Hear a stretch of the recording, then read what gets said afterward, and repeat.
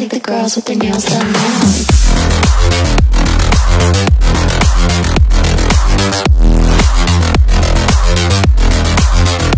Girls with their